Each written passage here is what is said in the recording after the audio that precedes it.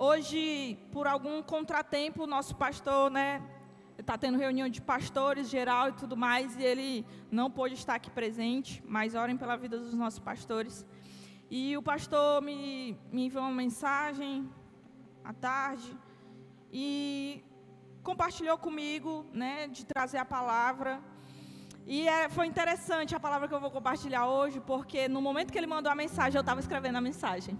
E eu não sabia que era para a Aliança Team toda. Eu pensava que era só para a rede. Mas não.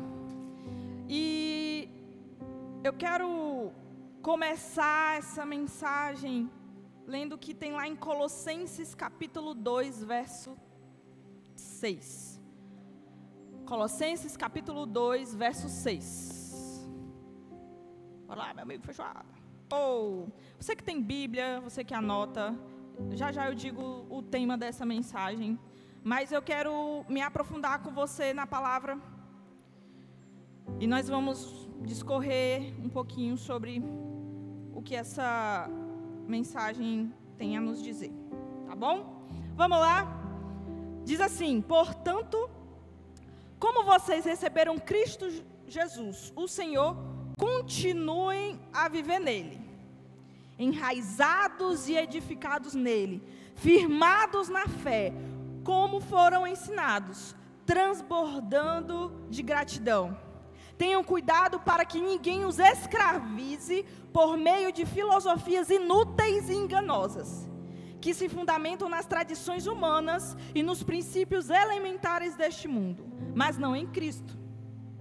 Pois toda a plenitude da, da divindade habita corporalmente em Cristo. E vocês estão plenos nele, que é a cabeça de todo poder e autoridade. Volta lá e deixa fixado o verso 6. Vamos discorrer um pouquinho. E eu, a palavra de hoje é sobre permanecer. O que te faz permanecer? O que te faz querer Jesus? E sobre isso, eu né, fui relembrar algumas coisas que eu anotei sobre permanecer. E a primeira coisa que nos faz permanecer é continuar, sim ou não? Eu só permaneço se eu continuo. Se eu decido, vamos lá, estou descendo aqui numa rua. Se eu decido parar, eu vou permanecer nessa rua? Quer dizer, eu posso até permanecer, que eu não dobrei nem para a esquerda nem para a direita, mas eu não continuo, eu não ando, eu não avanço. E a primeira coisa que eu quero dizer para você é: nós temos Jesus. Nós recebemos Jesus. Então é como se Jesus ele fosse o caminho. Não é verdade que Jesus é o caminho, a verdade e a vida? Então nós já estamos no caminho. Porém, olha o que, que a palavra de Deus diz: continuem a viver nele. Aí é o seguinte: o que, que eu me deparo aqui? Para a gente permanecer, a gente precisa continuar. Mas, se eu não sei o que vem à frente, o que me dá segurança de continuar? E aí? O que, que me dá segurança de ir até o final dessa rua? É o que eu vejo? É o que eu sinto? É o que as pessoas me dizem? E aí é onde eu entro com o tema dessa palavra que é sobre permanecer. E falar de, de permanência é falar de raízes, é falar de edificação. E aí agora, na minha versão, só para vocês entenderem, é, aqui fala continue a viver nele. Na minha versão fala assim, continuem a segui-lo. meu amigo Carlos, coloca na versão, vou ler na minha versão NVT que aí vai ficar mais fácil a compreensão da galera. Oh, boa. NV, não, peraí, ainda não. Volta lá. Isso, valeu. Então, continuem a segui-lo. E, trazendo o tema, né, dessa palavra permanecer, a gente agora vai para o verso 7, e eu quero falar de raiz, eu quero falar de palavra. Coloca aí, Carlos, para nós. Aprofundem nele suas raízes e sobre ele edificam a sua vida. Vamos lá. O quão profundo você está hoje em Jesus? Bora lá. Quão profundo você está hoje em Jesus? Como é que está a sua raiz? O quanto que você conhece de Jesus hoje? O quanto que você vive de Jesus hoje? O quanto que você deixou com que o, o, o seu lugar de oração, intimidade, o jejum e oração formassem quem você é hoje? Como estão as suas raízes? Como é que está o seu firme fundamento? Como é que estão tá as suas convicções? Eu posso ser sincera para vocês? Hoje, infelizmente, a gente vê uma geração que tem tudo e ao mesmo tempo tem, não tem nada. Em que sentido, Ana Luísa? Tem tudo para criar raízes, mas ao mesmo tempo não quer pagar o preço, não quer viver o que precisa viver, não quer escolher o que precisa ser escolhido. E deixa eu te dizer, uma coisa que vai determinar aonde você vai chegar é o quanto de convicção você carrega sobre aquilo que você acredita. O quanto de convicção você tem sobre Jesus na sua vida hoje? Sabe, porque a gente às vezes se depara com muita gente parando no meio da caminhada. Mas o que que nos faz parar?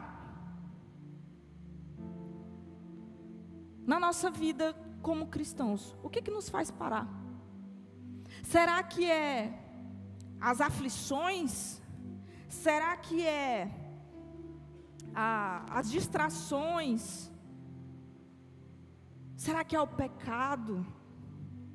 O que que nos faz parar? O que que faz uma raiz parar de crescer? Você já se perguntou sobre isso? Eu não sei vocês, mas quando eu estudava na, no ensino fundamental, teve uma vez que eu não sei aqui quem já plantou feijãozinho com algodão dentro do copo. Lembra? O experimento, era o experimento do século. Feijão dentro do copo. E uh, eu fui plantar o meu feijão. Só que eu botei água demais. E eu não sabia que não precisava botar água no primeiro momento. E aí a gente deixou, né, por um tempo lá. E aí quando a gente foi ver o resultado de como é que estavam os brotinhos do feijão, tinha uns que não tinha nascido nada, tinha uns que já estava bem grande. O meu não foi para frente. Eu fiquei, gente, por quê? Mas eu fiz o mesmo processo que todo mundo. E muitas das vezes a gente vai se deparar assim na nossa caminhada com Jesus. Por que, que o próximo, por que, que quem está do meu lado cresce e eu não? Porque quem está do meu lado parece que vai e eu vou ficar. Você já se perguntou isso? Você já fez essa comparação que ela é injusta? Você já fez? Eu já fiz essa comparação. Mas eu descobri algo. E esse, esse, esse descobrir veio, veio através da palavra. Porque eu descobri que eu não tinha raízes no Senhor. Então, como é que eu vou crescer? Como é que eu vou andar se eu não tenho raiz? se eu não tenho ali um alicerce, um fundamento onde eu me alimento, onde dali saem os nutrientes que eu preciso, dali sai a força, dali sai a convicção, dali sai a fé. E a prime o primeiro ponto que eu quero trazer para você é: aprofunde a sua raiz. Aprofunde, sua, aprofunde o seu lugar de intimidade. Sabe, eu não sei o que, que você, o que, que você espera vir no culto para ouvir do pastor, de, das pessoas que sobem aqui. Mas sabe, tá, sabe quando o negócio já deu? Já deu, cara. Já deu, a gente já brincou demais. Sabe, a gente todo sábado, todo final de semana é encharcado pela, pela palavra, compartilhado, isso é muito bom. Mas parece que quando é durante a semana a gente esquece que a gente tem Cristo. Não é verdade? Parece que quando chega aquela luta a gente esquece quem a gente deu a nossa vida, quem a gente entregou o nosso coração. Isso tem tudo a ver com permanência, isso tem tudo a ver com frutificar, isso tem tudo a ver com raiz. Mas hoje a palavra não é sobre frutificar. Eu quero voltar muito antes do frutificar. Eu quero voltar na base com você. E essa base também fala sobre algo muito importante. Porque essa edificação vem através da palavra do Senhor. Diga, palavra de Deus. Palavra de Deus. E aí eu te pergunto, como é que está a tua leitura? Você entende o que você lê? Você consegue absorver aquilo que o Senhor quer te dizer através da palavra? Sabe, por muito tempo eu fui uma pessoa que eu abria a Bíblia, mas eu não entendia. Eu falava assim: beleza, Senhor, tá aqui, continue a segui-lo, beleza, continue indo para a igreja. Isso é para continuar a seguir Jesus. Só que o Senhor, com o tempo, foi me mostrando, a Luísa, deixa eu te levar mais profundo na palavra. Deixa eu te mostrar aquilo que você ainda não conhece de mim. E isso tem tudo a ver com a palavra de Deus e é o ponto central dessa mensagem, sabe por quê? Ninguém permanece sem a palavra de Deus. Todos nós, o universo foi criado através do que? Da palavra, do verbo, do falar. Esse é o nosso alimento. Então, o que, que eu quero compartilhar com você hoje? Eu quero te levar a um nível mais profundo da palavra. Sabe, o, nosso, o, o, problema da nossa geração hoje não é a falta de palavra, é a falta de aplicação, é a falta de entender, de compreender, de viver. Porque parece que a gente não está vivendo aquilo que a gente lê. Não é verdade? Você já se pegou assim, se perguntando, cara, rapaz, eu li aqui que não é para mentir. Mas os irmãos que eu conheço mente, eu. A, a palavra de Deus diz que não é para mim me envolver com pornografia, com imoralidade sexual. Mas parece que a gente vive batendo na mesma tecla, errando na mesma coisa, errando, errando. E aí eu, eu não sei se você já chegou no estágio de se perguntar. De novo, na mesma coisa, de novo, de novo, de novo. Você está me compreendendo? Não, vocês estão entendendo? Que aí eu. Sim ou não? Tá, tá ficando claro para onde a gente vai chegar? Amém? Vamos lá, vocês estão comigo? Então é isso que acontece, sabe? Parece que tá faltando algo assim, um negócio que te empurre, te impulsione, te amasse. Sabe, não é não é o, o seu discipulado com a sua liderança, mas eu sei que o discipulado com a liderança nos ajuda a ter um direcionamento, mas sabe, o que nós precisamos nesse momento, o que eu e você precisamos, é sermos, sabe, encharcados, amassados pela palavra do Senhor. Ana Luísa, mas tu fala isso, tu já tem não sei quantos anos aí de, de, de evangelho e tudo mais, mas meu amigo, deixa eu vacilar para você ver. Eu não sou nada, gente, eu e você nós não somos nada. Me lembrei da Liana que disse que ninguém presta. E ninguém presta mesmo, não. E a gente está buscando o que? Prestar. Porque a palavra de Deus diz que o Senhor nos aperfeiçoa. Ah, não, Luísa, mas a gente vai continuar sendo imperfeito. Vai. E o Senhor vai continuar nos aperfeiçoando. Porque tem coisas que realmente a gente não vai entender. Aos olhos humanos, ao entendimento humano, a gente não vai entender. Porque tem coisas que são do nível sobrenatural do Senhor sabe? E muitas das vezes a gente não tem enxergado esse sobrenatural porque a gente não vive no profundo da palavra de Deus. Sabe por que você é, é ainda assim hoje? Por que você é cheio de picuinha hoje ainda? Porque você ainda não foi profundo na palavra de Deus. Porque você ainda não entendeu que palavra é transformação e transformação é Jesus. É Jesus em mim e você. Por que, que a Bíblia diz então que Cristo em nós é a esperança da glória? Porque Cristo em nós é a transformação. É a transformação de quem nós somos para parecermos com quem Deus nos criou, com a imagem daquele que nos criou. Vocês estão entendendo? Posso prosseguir? E lá em 1 João 2,24 fala sobre isso, e eu quero ler com você sobre permanecer. Vários versículos da Bíblia vão nos trazer isso, essa palavra permanência. E eu quero ler essa com você que diz assim: Portanto, cuidem para que permaneça em vocês o que lhes foi ensinado desde o começo. Se o fizerem, permanecerão em comunhão com o Filho e com o Pai. Aqui eu já poderia terminar a ministração. Porque está claro, gente, é a palavra. Olha o que, é, olha, olha isso. Cuidem para que permaneça em vocês o que, o que lhes foi ensinado. Sabe qual é o nosso problema também? É que a gente não dá valor ao que nos é ensinado. É que muitas das vezes a gente esquece do que foi ensinado. É que na hora de lembrar a gente não lembra. E sabe, permanecer no que nos foi ensinado é desde o começo. É desde quando eu tomo a decisão de aceitar Jesus como único e suficiente Salvador da minha vida.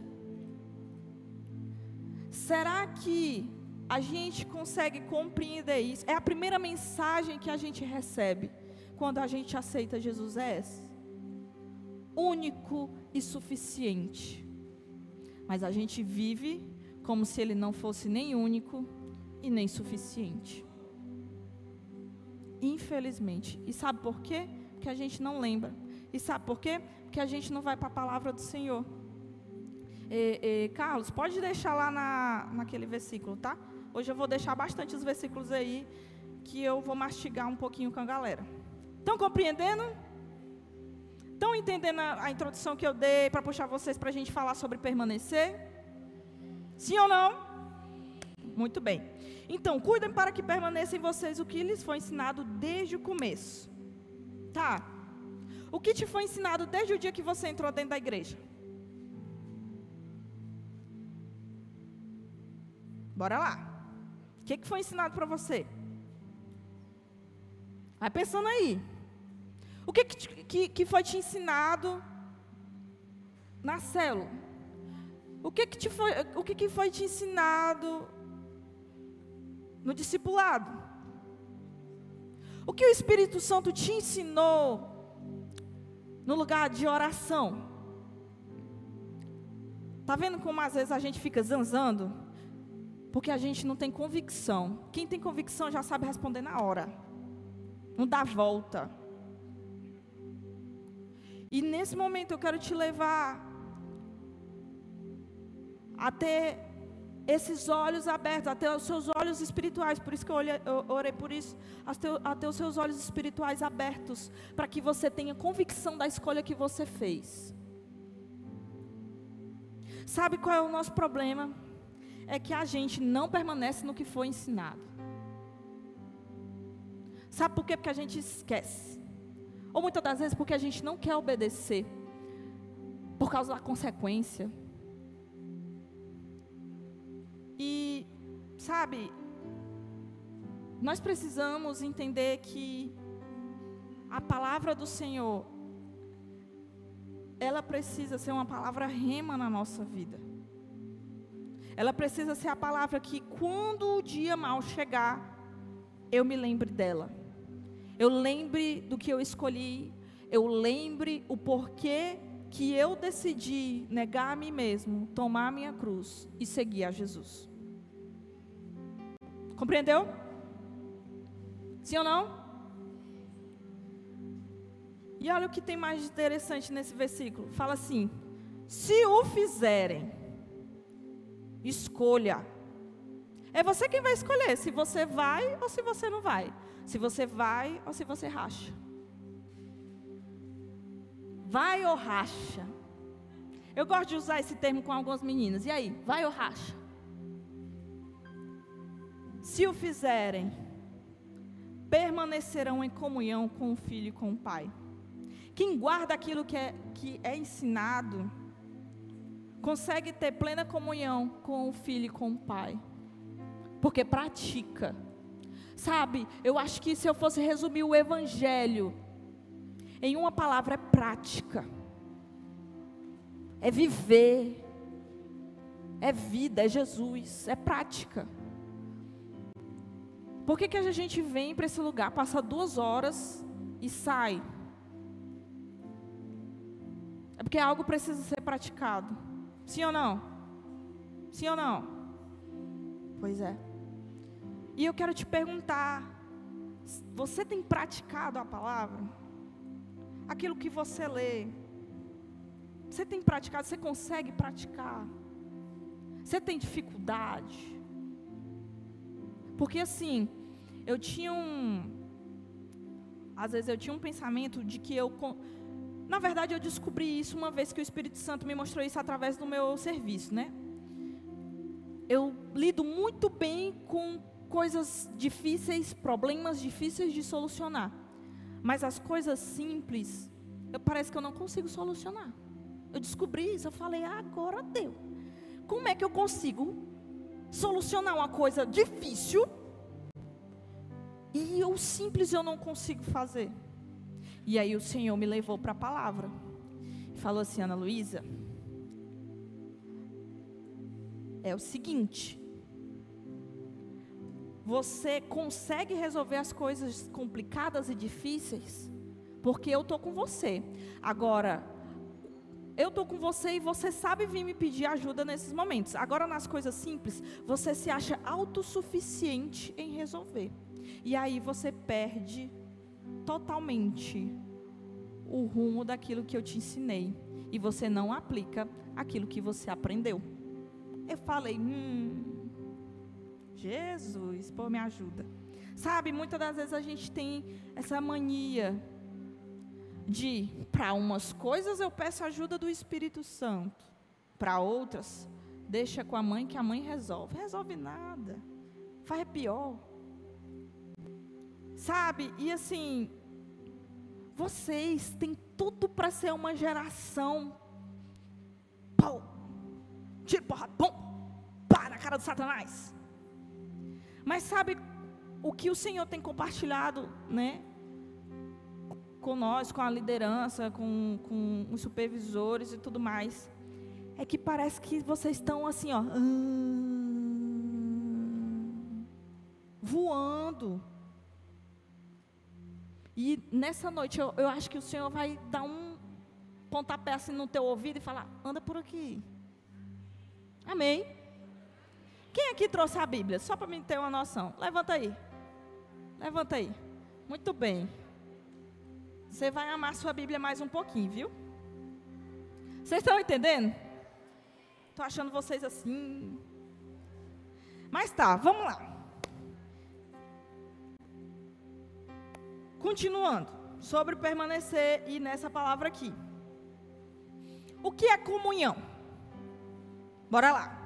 Vou trabalhar um pouquinho aqui com vocês. O que é comunhão? Comunhão é rolê? Sim ou não?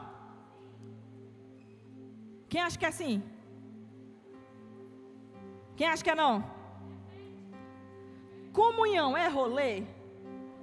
É. Quando a gente fala, vamos ter um momento de comunhão, o que, que vocês entendem por comunhão?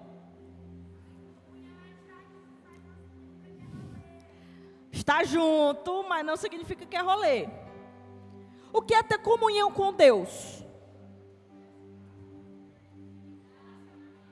Relacionamento, o que mais? O que é ter comunhão com Deus? Bora lá, tá vendo? O que é ter comunhão com Deus? Conversando com Deus. O que mais? Palavra. O que mais? Bora lá, o que é comunhão com Deus? Vamos lá, eu vou aguçar você. O que, é que a Bíblia diz sobre comunhão? Mesa, o que mais? Vamos, Aliança Tim. O que é que a Bíblia diz sobre comunhão? Ouvida, que mais? Bora que tem mais. O que é que a Bíblia diz sobre comunhão? Bora, eu vou aguçar você. Hoje eu tô. Hoje nós vamos, que você não retranca. A palavra de Deus diz que, primeiramente, o Senhor lá no jardim do Éden tinha o que com o homem? Comunhão. Não é verdade? Sim ou não? E aí, depois que houve a queda do homem, a gente agora vai para a arca, para a presença do Senhor, para ter o quê? Comunhão, para pedir perdão pelos pecados e ter comunhão. A nossa vida é sobre comunhão. Olha para a pessoa que está do seu lado. Essa é a pessoa que Deus diz que você precisa ter comunhão com ela. Porque a Bíblia diz que se nós amarmos uns aos outros, nós vamos ter comunhão uns com os outros. Mas o que é ter comunhão com Deus? O que é ter comunhão? O que é ter intimidade com o Espírito Santo? É quando eu entro no meu quarto, fecho a porta e vou conversar com o Senhor. É quando eu pego a palavra, eu abro a Bíblia e falo: Jesus, pode falar que eu quero te escutar. E Jesus é tão massa que ele nos deu um, um exemplo muito prático de comunhão. Que foi o quê? Eu e você. Eu só consigo ter comunhão com Caio se eu conversar com ele, se eu me aproximar dele, se eu conversar, saber do que ele gosta, ele vai saber do que eu não gosto. E assim a gente vai conversando e a gente vai tendo comunhão. Da mesma forma é com o Espírito Santo. Mas sabe o que, que acontece? Ei, grupinho aí, ei, psiu, bora lá, bora prestar atenção. Não estou para brincadeira aqui não. Sabe o que, que acontece? Muitas das vezes a gente a gente coloca regras na comunhão com o Espírito Santo. A gente segue uma eu não vou dizer uma metodologia, mas a gente segue um cronograma. Primeiro eu boto a música, segundo eu oro o Pai Nosso, terceiro eu abro a palavra, quarto eu leio, quinto eu oro, sexto eu saio. Você faz isso com seu amigo? Tu já fez isso com alguém, Thaisa? Chegar na casa da pessoa falar, pois é, fulano, é isso aí, isso aí, isso aí, tchau. Porque você para para ouvir o seu amigo. E por que, que a gente não para para ouvir o Senhor? Por que, que a gente não para para ouvir o Senhor? Qual é a nossa dificuldade? Ontem eu passei por isso, sabe? Eu compartilhei com uma pessoa e eu passei por isso. Eu comecei a ler a Bíblia e tal, hoje tinha celulão. E eu, tá, Senhor, a palavra aqui. E, e eu botei o fone e muita coisa. E o Espírito Santo falou assim: para. Aí eu tirei, eu falei assim: tá bom, Jesus, eu entendi. Pode falar. Mas sabe qual é a nossa dificuldade? É que a gente não para para escutar. A gente quer só falar. E o Senhor quer te ouvir. Sim, o Senhor quer te ouvir. Mas quando é que a gente vai parar de fato e escutar? A gente precisa fazer esse exercício de parar para escutar, porque parar para escutar vai te fazer permanecer. Sim ou não? Quando você vai receber uma instrução, por exemplo, quando você vai tirar a habilitação de carro, de moto, antes de tu pegar o carro e sair dirigindo, tu tem que parar para escutar. Eu me lembro da primeira vez que eu peguei um carro na minha vida para dirigir. O meu instrutor, o seu Josué, gente boa demais. Seu Josué, minha filha, você já dirigiu? Aí eu não. Aí ele falou assim: Pois nós temos dois problemas. O primeiro é que você vai me dar o problema porque você não sabe dirigir. O segundo é que você não sabe, por isso você vai aprender da maneira correta. E foi assim que eu aprendi a dirigir de uma maneira correta. Porque eu parei para escutar, eu parei para ouvir a instrução. E logo de primeira ele me deu, ele não me deu o carro. A gente foi até um certo ponto, aí ele falou assim: "Eu vou te deixar aí até ali na esquina". Mas antes disso, ele desligou o carro e falou: Ana Luísa, agora eu vou te passar tudo que tu precisa saber de um carro. Sim, assim, assado, cozinhado, eu vi uma passada. E foram se passando os, os, dias. Até que um dia o seu Josué me propôs algo. Cara, o seu Josué foi uma pessoa que ministrou muito na minha vida sobre instrução sobre você parar para ouvir. Seu Josué falou assim: esqueci o meu óculos na minha casa, a gente vai ter que atravessar a cidade e você vai dirigir. E eu, bora lá, seu Josué. E eu sei que eu fui dirigindo e tal, tranquilo, beba, certinho. Aí chegou num momento que ele pediu para mim entrar numa rua, só que ele se esqueceu que eu não podia entrar nessa rua. O seu Josué falou assim: Ana Luísa, seja rápida, ré, joga para a direita e acelera. E eu, sai. E aí no final de tudo, inclusive é, a prova de carro eu passei direto, a de moto não, mas a de carro eu passei direto. Seu Josué ensinou bem. E sabe, depois eu fui conversar com ele e tudo mais, e o Espírito Santo de Deus ministrou na minha vida sobre isso. Que quando nós paramos para ouvir a instrução e colocamos em prática, isso vai fortalecer a nossa fé, e fortalecendo a nossa fé, a gente vai permanecer. Entendeu? Ficou clara aí a história do seu Josué? De boa. Posso ir mais para profundo um pouquinho? Pô, beleza, vamos lá. E aí, beleza, voltando aqui. Nós precisamos da palavra, nós precisamos de raízes, nós precisamos nos edificar. A edificação vem pela palavra. A palavra é a, a, a palavra, ela traz a revelação de quem Deus é. Olhando para quem Deus é, eu descubro quem eu sou por causa de Jesus. Mas e durante essa permanência, Ana Luísa, o que é que eu preciso me lembrar? Porque a palavra de Deus diz que nós precisamos nos lembrar. Mas o que, que exatamente nós precisamos nos lembrar, seja nos momentos de aflição, seja nos momentos bons? Por que, que a palavra diz para a gente lembrar? E aí, eu quero que a gente abra junto João capítulo 14, verso 15. E vocês vão entender. Vamos lá. João capítulo 14, verso 15 diz assim: Se vocês me amam, obedeçam a meus mandamentos. Próximo. E eu pedirei ao Pai, e ele lhes dará outro encorajador, que nunca os deixará. Próximo, 17. É o Espírito da Verdade. O mundo não pode receber, pois não o vê e não o conhece, mas você mas vocês o conhecem, pois ele habita com vocês agora e depois estará em vocês. Sabe do que, que eu preciso me lembrar? Do Espírito Santo.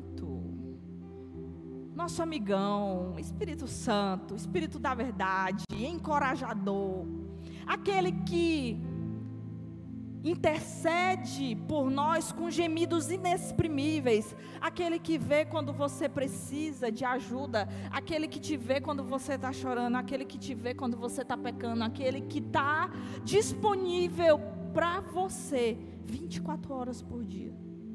Nós precisamos nos lembrar da, do maior presente, um dos, um do, vou dizer o segundo, né? O primeiro sempre, sempre vai ser Jesus, mas o segundo maior, melhor presente que Deus nos deixou foi o Espírito Santo. Meu Deus, você entende que eu e você temos o mesmo Espírito que estava em Jesus? Será que quando eu me lembro disso não fica mais simples e aplicável? O, o meu dia a dia em permanecer na palavra de Deus. Mas se a gente não para para escutar, o que, que acontece? Não acontece nada. A gente só vai escolher fazer o que? Burrada. Então, a primeira coisa que você vai lembrar sobre permanecer. Ana Luísa, quantos anos? O que, que eu preciso fazer para me permanecer? Você precisa do Espírito Santo. Você precisa de Jesus. Sabe, você só tem o Espírito Santo se você aceitar Jesus. Não tem outro caminho, não tem um atalho. Só tem Jesus. Mas parece que, que nesses dias está difícil da gente entender isso. Sabe por quê? Porque a cada discipulado, a cada BO que a gente recebe, a gente fica assim, Senhor, o que está passando na cabeça desse jovem, desse adolescente? Sabe, você, muitas das vezes a gente está achando que o Senhor, que Jesus vai demorar a voltar. E não vai, não, está bem pertinho. Tic-tac. Hum. Jesus está voltando, cara, e tu está desperdiçando tua vida assim. Só tem um, uma vida, ainda está desse jeito. Sabe, no nome de Jesus, para de brincar, para de pipipi, pipipi, popopó. Chega, chega, chega, chega, já deu. Sabe, eu não quero que você tarde esse pensamento só quando for mais lá para frente, só quando você tiver errado mais. Eu me arrependo do tempo que eu levei para falar assim, cara, eu vou profundo em Jesus e nada mais vai me fazer voltar atrás. Eu me arrependo do tempo que eu demorei para tomar essa decisão. E você tem a oportunidade, tão novinho, tão novinha, de tomar essa decisão. Ah, Ana Luísa, mas é porque eu tenho que curtir, é porque não sei o quê. Eu também tinha esse pensamento, cara. Eu sei que algumas coisas ainda tá muito confusas aí na tua cabeça, mas coloca uma coisa assim dentro de ti. Não sei, tu vai pregar no teto da tua casa, tu vai escrever no teu braço. Cara, você precisa de Jesus. Sabe, às vezes eu fico assim pensando nas pessoas que caminharam comigo na mesma igreja, na mesma cadeira, do meu lado. E não permaneceram. Eu não sei o motivo, eu não sei a causa. Mas eu oro para que essas pessoas voltem para Jesus. Mas o que mais me choca não é essas pessoas que saíram, é as pessoas que ficaram e continuaram as mesmas. Piores. Eu não sei o que é pior, se é você desistir de Deus, desistir da caminhada, ou você continuar a mesma pessoa por anos, anos, anos, anos. Eu não sei. E eu não quero que aconteça isso com você. Eu não quero nem que você se desvie e nem que você permaneça o mesmo. Eu quero que você seja transformado. A palavra é transformação. E como é que a gente é transformado? Quando a gente abre o nosso coração. Quando a gente rasga o nosso coração. Não tem outro meio, não tem outra forma. Não tem um pipi, um pode, pipi, pipi. Não tem. Você precisa rasgar o seu coração. Você precisa ser verdadeiro para você. Não, Luísa, mas eu tenho vergonha nosso pastor Raimundo Nonato fala que a vergonha não mata, o que mata é pecado escondido. Confesse tentação para você não precisar confessar pecado. Meu Deus, mas eu tenho vergonha. Jesus não teve vergonha de morrer por você. Ele não teve.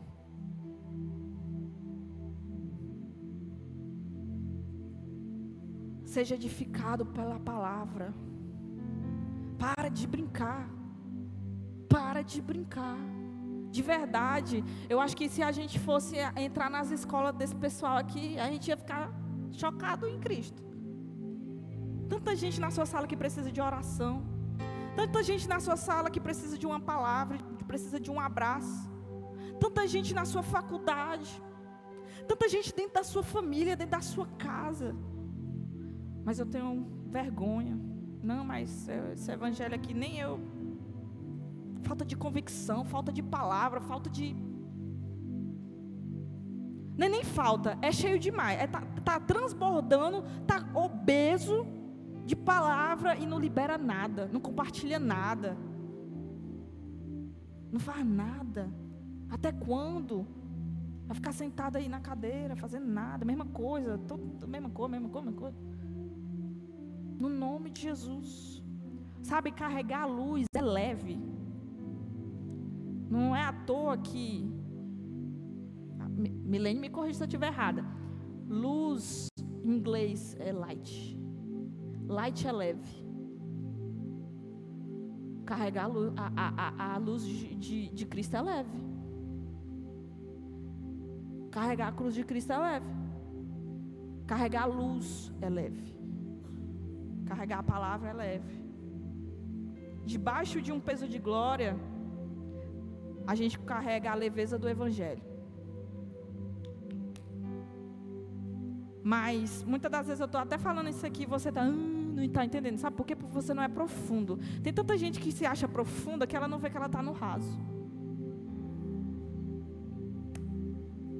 Permanecer tem a ver com profundidade, tem a ver com caçar Deus, tem a ver com, com sabe, se a glória de Deus é se esconder, a minha glória é conhecer é ir atrás, é saber o, o, o, o que ele está pensando, o que ele está falando.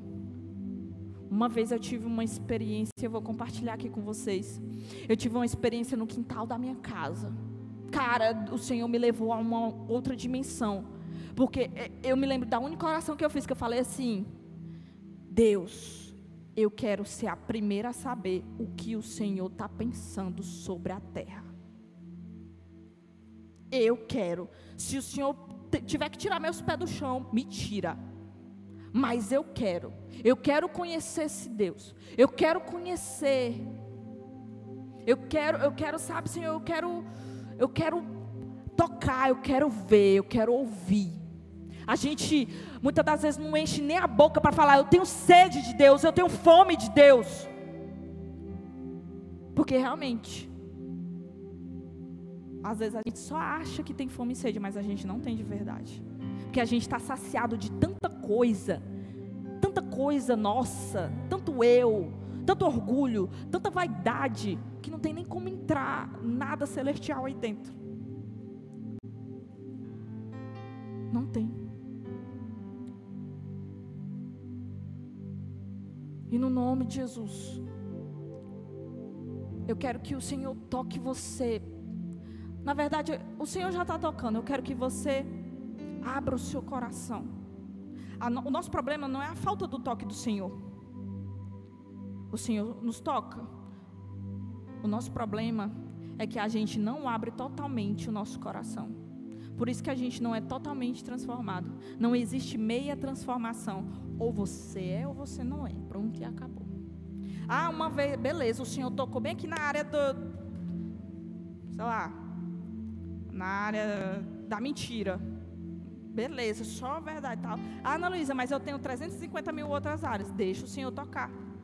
Deixa o Senhor tocar. Ah, mas eu tenho tanta coisa para resolver. Sabe qual é o nosso problema? É que a gente não foca em uma coisa. A gente quer resolver tudo ao mesmo tempo. Ei, para. Sabe qual é a doença da nossa geração? É ser multitarefa. Eu aprendi isso na minha vida de empresária. Eu que estava doida. Estava para ficar doida.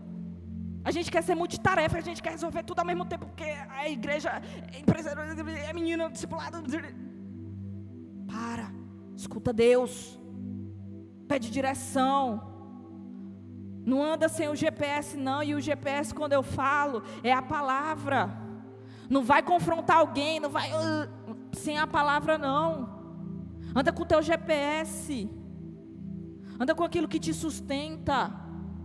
Você já tem o sobrenatural que é o Espírito Santo.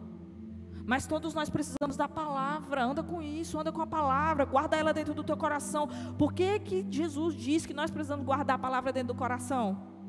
É porque se hoje todo mundo se houvesse um, não sei, tirasse a Bíblia de todo mundo, quantos versículos você teria aí dentro? Como é que você, alguém que falasse assim, beleza, eu não acredito no teu Deus, me mostra que ele é real. O que, que ia ter dentro de você? É, vocês estão achando o quê? É por, sabe por quê? Porque eu não sei. Eu, acho que o Senhor tem muita misericórdia de nós para não acontecer isso. Porque se acontecesse, eu acho que mais da metade da gente ia ficar com a cara no, no pó.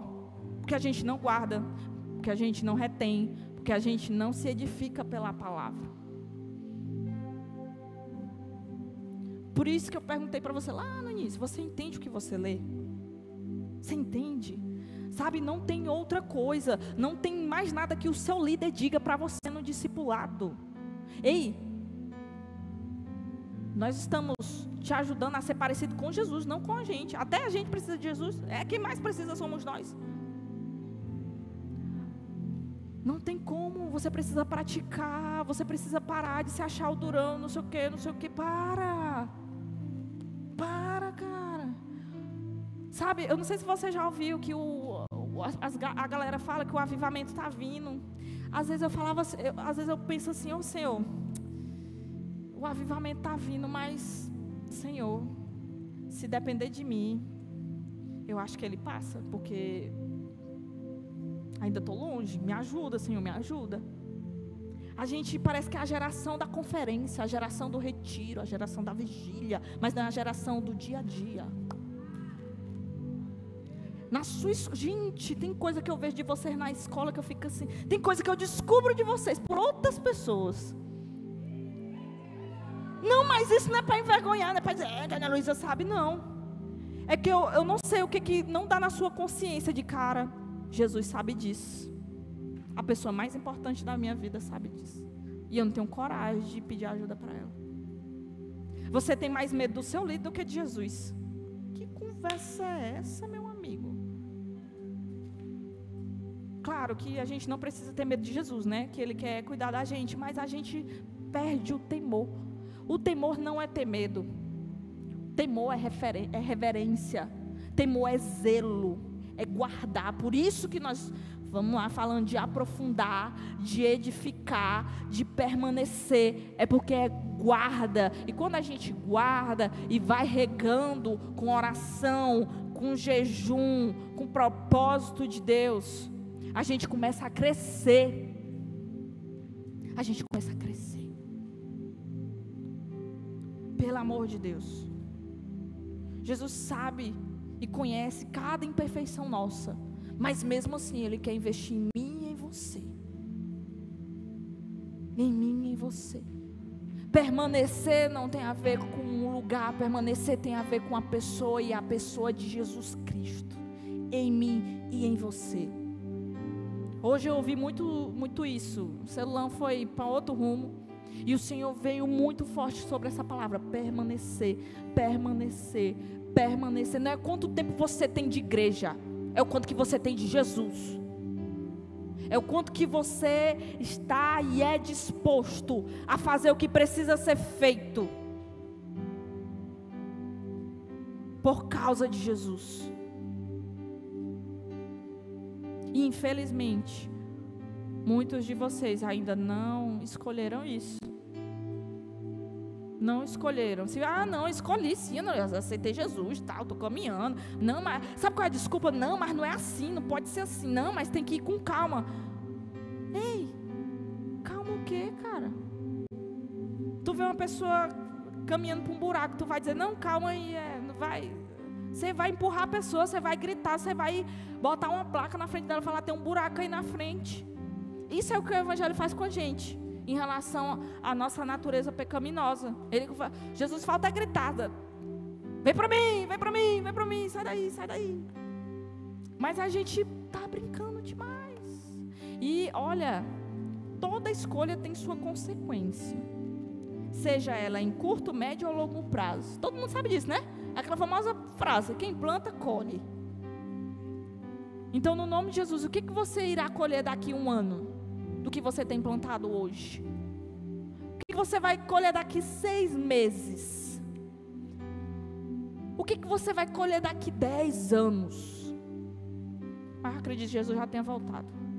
Mas o que, que você vai ter colhido? O que, que você espera? O que que você espera? O que, você espera de você? E todas essas perguntas que eu estou te fazendo é para você responder para você e para o Espírito Santo. O difícil não é dizer não para o pecado. O difícil é não me entregar por inteiro a Jesus. É isso que, que torna difícil dizer não para o pecado. Quando você se entrega pela metade, você começa a experimentar pela metade. Você não experimenta o inteiro completo. E nós nascemos para sermos completos. Lá em Colossenses 2, mais abaixo, fala sobre isso. Que nós, nós só nos formamos em Jesus para sermos completos. Vocês estão entendendo? Ficou claro? Sim ou não? Amém. E para terminar, eu quero. Não vou só bater. Isso aqui não é nem bater. Isso aqui não é nada. Isso aqui é a própria palavra. Eu não vim aqui para bater em ninguém, não. Mas Filipenses capítulo 1, verso 6 fala algo muito interessante. Fala assim: Tenho certeza de que aquele que começou a boa obra em vocês irá completá-la até o dia em que Cristo Jesus voltar. Tá aí.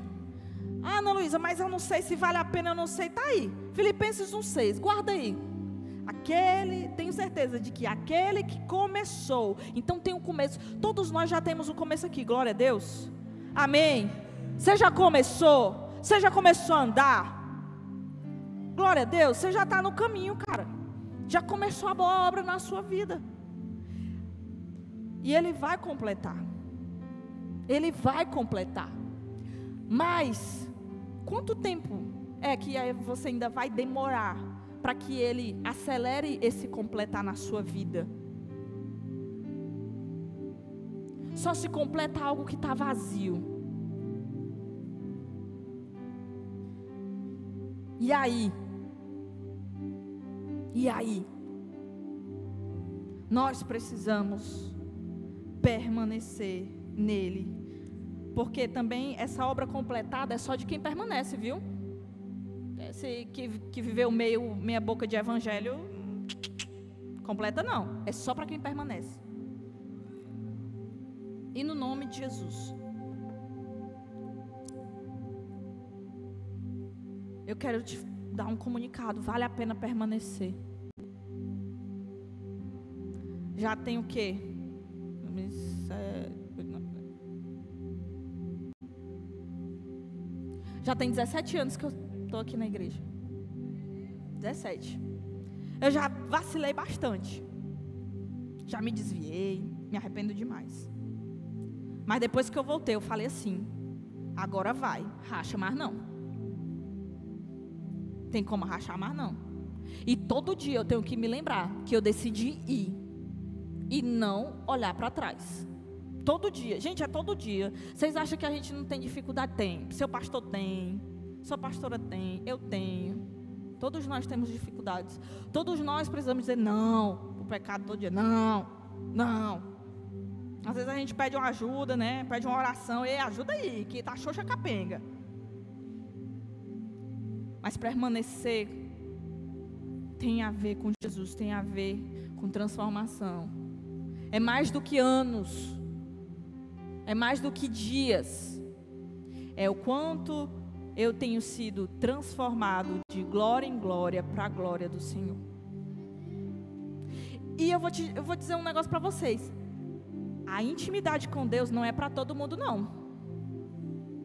Se você está achando, não, é porque a intimidade não é para todos.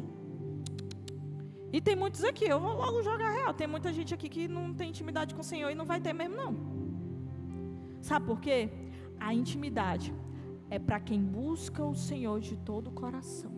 E se você se entregou só pela metade, você não está buscando de todo o coração. Você está buscando de meio coração. Por isso que você ainda está aí do jeito que você está. Ah, mas é a minha família, tu não entende, tu não sabe, tu não. Eu não sei mesmo, eu não entendo.